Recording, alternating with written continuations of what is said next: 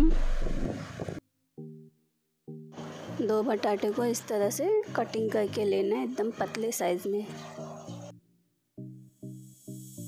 अभी एक बॉल में बेसन ऐड करेंगे। चार चम्मच बेसन लेंगे।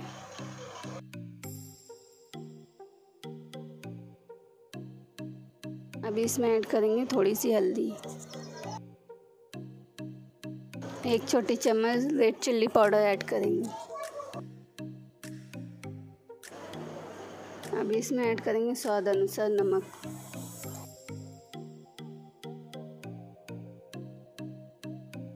अभी इसमें ऐड करेंगे बारीक कटिंग किया हुआ हरी धनिया।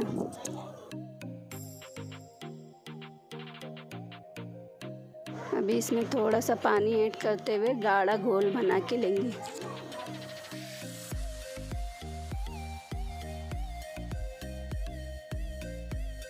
देखिए, इस तरह से मिक्स करना है। बेसन के जो दाने होते हैं, वो अच्छे से मिक्स हो जाना चाहिए।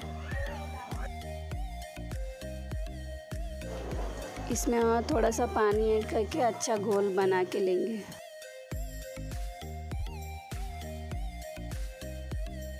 इसमें ऐड करेंगे एक चुटकी खाने वाला सोडा।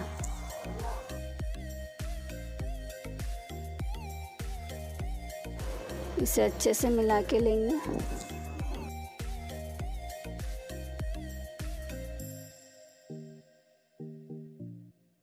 देखिए, इस तरह से गाढ़ा थिक गोल रहना चाहिए।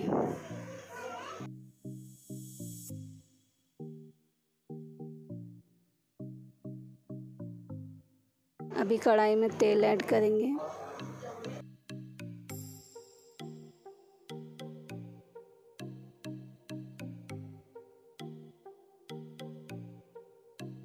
बटाटे को घोल में अच्छे से मिक्स करेंगे।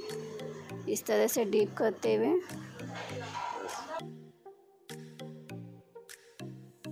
अभी तेल में इस तरह से एक एक करके छोड़ेंगे।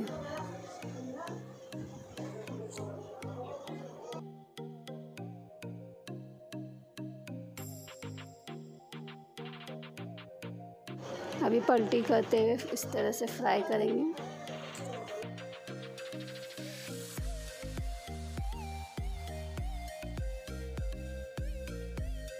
हम इसे स्लो गैस में पकाएँगे, फास्ट गैस में नहीं, क्योंकि जल जाएगा।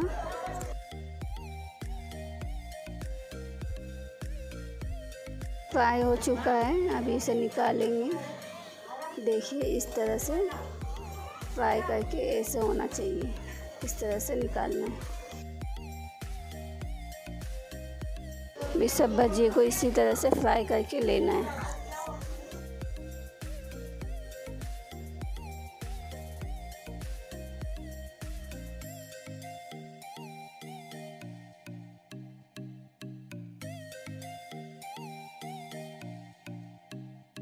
देखिए, एक सेट हो चुका है, अभी इसे हम पलटी करेंगे।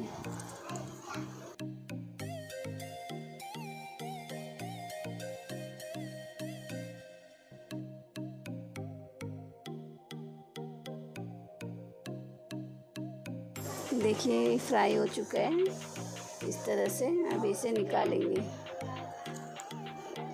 देखिए, सब भजी को इस तरह से फ्राई करके लेना है। देखिए, ये भजिया रेडी हो चुका है। Tasty crunchy bhajiya. मैंने हरी धनिया इसलिए डाला है। बहुत अच्छा दिखता है दिखने में भी और खाने में भी टेस्टी लगता है।